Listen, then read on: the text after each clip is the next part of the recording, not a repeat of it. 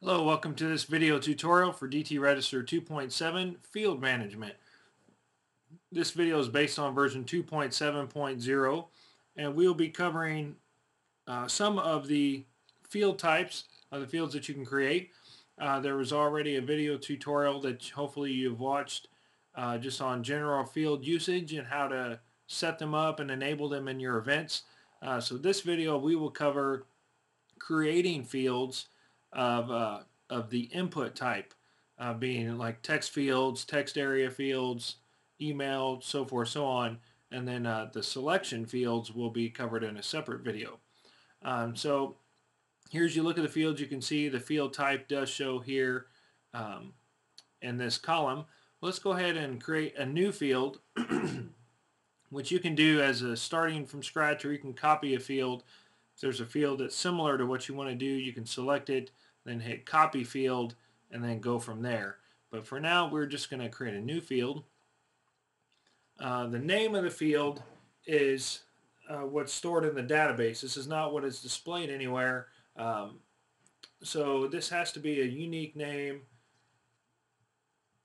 So I'll just call it uh, testing input and uh, it'll check to make sure that your name is okay. Uh, side note, there's helpful tooltips over here on the side that uh, will give you good information on what you're supposed to do for for that particular setting. Pay attention to those as they are actual uh, info that'll help make sure that you get things set correctly. Here's the email tag. Every field has the ability now to specify its own email tag. So you can use this tag to insert the data from this specific field in any of your emails. And um, you know, as the tags are input with the brackets, here you do not include the brackets as stated uh, as stated in the tooltip. So here I'll just put testing input. That'll be my tag and I don't put the brackets on it. Now I go to the field type. Um, here you can see the various field types. Let's just make a text field and the size this is how how big the field is going to be. Let's just go with uh, 30 maximum length. This is how many characters can be typed in the field. So let's say 40 even though the field is bigger than that I want to allow you to be able to type a little more but you can limit uh, how many characters are accepted which is recommended to do that. Um, the label this is what will show on the form. There you go. Uh, conditional field uh, you can set up this field to be based on another field, um, meaning based on the selection of another field, you can have this field show up. That is covered in a separate video, so look for the conditional fields video tutorial for more information on that. So I'm going to skip that for right now. Description is what we'll show on the front end as a tooltip. Similar to what you see here, uh, you can have that on the front end of your site to show information if you do not enter anything here in the description, then you will not have a tooltip. Um, so if you don't need one, then just leave this blank.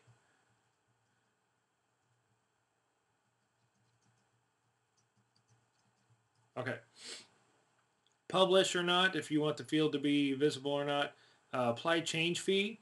This is a new feature where previously, um, whenever you uh, if you use the front end user panel where users can come and make changes, cancellations, and so forth, um, you could set up a, a, change fee. And previously, uh, previous versions of DT Register would apply if you made any change at all, you would get the change fee. Now here you can specify if changes are made to this field, will there be a change fee or not? Uh, of course, if there's no change fee set up for the event that is being used on, it doesn't matter. But um, if the event does have a change fee, I could say, you know, if somebody makes a change to this field, they don't need to pay a fee. Um, so you can specify that per field now. Uh, hidden, a hidden field basically means it's an admin only, like an office only type of field. So it'll be, uh, it'll not be shown on your front end registration forms. It'll only be seen in the back end by an administrator. So uh, you could have that field and it could be any field type and maybe you want to use it to give seat numbers or make notes about a payment Uh, whatever you want to do, that's what a hidden field would be for. Listing options, this gives you a couple options for display. The front end attendees list, that is uh, if you go to an attendees list similar to, to this, um, you will see a list of people that are registering for your event. And, uh, and it'll show whatever information you have configured. Well, here you can specify if this field is going to be shown in that attendees list or not. Uh, so if it is, uh, if you check this box, then when somebody views any attendees list, data for this field will be included. And then the backend members list, if you do a group registration, a detailed group registration where it pulls in data for each member of the group, um, on the back end records area, there will be a, uh, a column that'll say something like four members that is stating that that record has four members in it. When you click that link, it will then display um, all of the members. And then within that display, uh, previously there was a hard-coded list of, of fields that would show, uh, but if you didn't happen to use those fields for group registration, then it was difficult to manage. Um, so now you can control that. You just check uh, check the field here, and with that, that will cause this field to be used when it displays all the members of any particular group registration. Uh, so that's what that check is for, so you can specify those things. Default settings, these are what is going to be uh, applied uh, for, for this particular field whenever, um, whenever it's loaded into an event by default. Uh, when you go to create an event, all the fields are set to default. So um, this will say how it's going to be used. Uh, when you're creating the new event, if you mark all events, then that means this event or this field will be enabled for all of your current uh, currently running events uh, instead of having to create the event and then go turn it on uh, event by event. Uh, so then here you can set the default setting to be um, as far as how is it going to be used, is it going to be used at all? Or is it going to be used in individual registrations, group registrations, or both? Uh, is the field going to be required? Uh, in a group registration, is it going to be shown for every member, for the billing page only, or members and billing? So you can set these items, and these are things that will be set within each event, but this is the default starting point for this field. So we could save that and be done with that, and now you'll see we got the new input field here that we just created. Uh, of course, we can order it however we want to combine with the other fields. I'm going to go back into this field and let's check some of the other options. If I change this to a text area, you'll see my field options change. Now um, I have a show character count, yes or no. And the show character count, what this will do below your text area box, and if you don't know, text area box looks something like what you see here. It's a, a larger input box and um, you can have DT Register count how many characters are being typed into the box like you see on a lot of other registration forms. Um, reason being is you do have the ability to calculate a fee based on how many characters somebody types into your form. So, and if you're going to do that, then it would be helpful to um, show them that character count.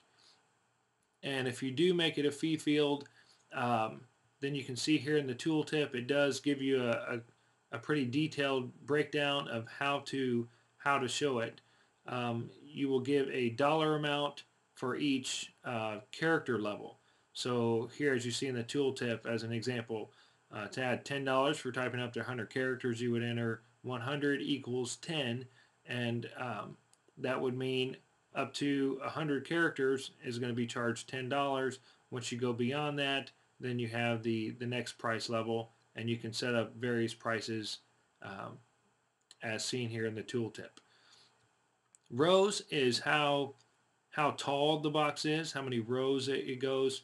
Uh, columns is how wide the box is. So you can enter a number here to specify the size of your text area box. And the rest of the settings here are all the same as what we have just described. Let's go to another field type. Let's go to a date field. This is another input option. Uh, here you have a date format. Uh, so you can specify what format the date will display in after it's been selected.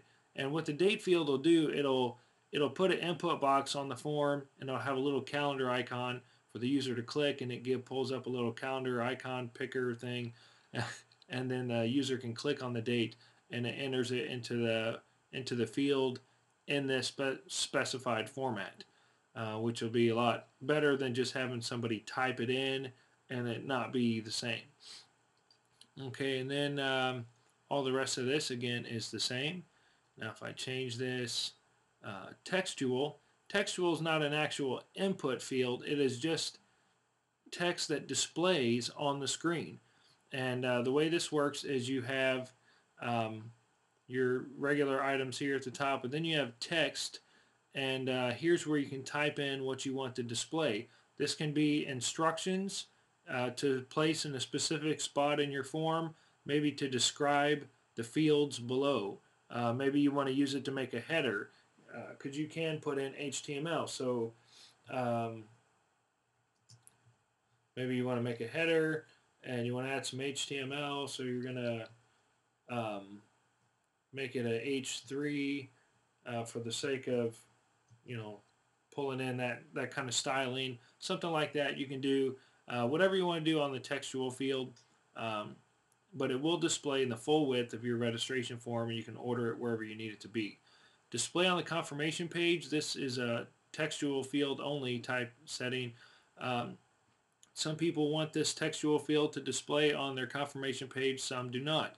Now you have the option to say for each textual field if you want it to be displayed on confirmation or not. Um, other item, upload field. Here you can provide a, a field where a user can browse their computer and upload a file during registration. Um, here you have, uh, you can specify a maximum file size which is in kilobytes as stated in the tooltip. You would just enter a number here. You would not enter the KB, just a number.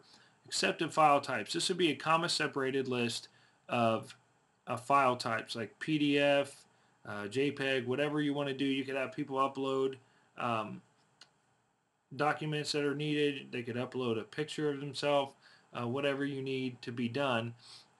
Then uh, those files or images that are uploaded will be stored in the core Joomla images folder. There's a DT register folder that's created on install. Inside there, there's an uploads folder. That's where the files are stored. Uh, here you do have the choice to say attach uploaded files to the admin notification email. So if you mark this as yes, you will get that file as an email attachment when you get notified of the registration. Uh, last one to show you here is an email field type uh, which uh, is an input field, but it expects to be expects you to enter an email format. But then you also have the option of saying if you want a confirmation field or not. If you mark yes, then it will automatically add a second field below it. So you have your email field, then the confirmation field where the user will enter it a second time, and the two will have to be the same, like you see on, on a lot of forms. Uh, so those are your your standard input type fields. The other fields uh, like drop downs and so forth get a little a uh, little more complex.